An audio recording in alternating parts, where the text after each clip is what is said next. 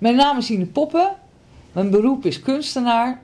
En samen met een team van vormgevers en programmeurs hebben we Pip gemaakt. Pip is een chatbot, een kletsrobot. Je praat met Pip online door te typen, dan antwoordt Pip en stelt vragen over de liefde.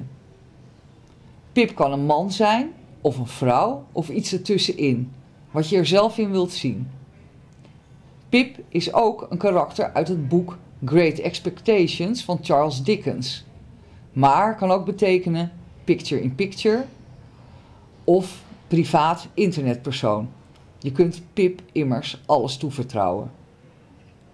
Pip is vergelijkbaar met Siri op je telefoon. De antwoorden die Pip geeft, heb ik geschreven. Pip reageert op steekwoorden, woorden die jij gebruikt. Bijvoorbeeld als Pip zegt: What's your name? En je antwoordt Zoe, zegt Pip: Hi Zoe, how are you today? Soms lijkt het net alsof Pip je echt begrijpt en wat voor je voelt, maar dat is natuurlijk niet zo. Pip is een algoritme en ook niet heel erg slim. Maar zelfs slimme algoritmes begrijpen niet wat jij daadwerkelijk zegt. Dat is een van de redenen waarom ik Pip heb gemaakt. Omdat je moet oppassen aan wie je wat toevertrouwt. Sommige mensen biechten online nogal wat op.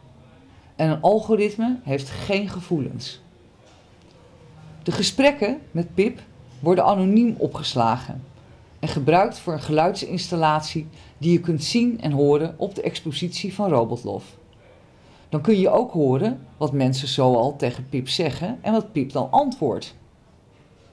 Jij kan ook zelf met Pip kletsen op de website van Robotlof. Pip spreekt Engels.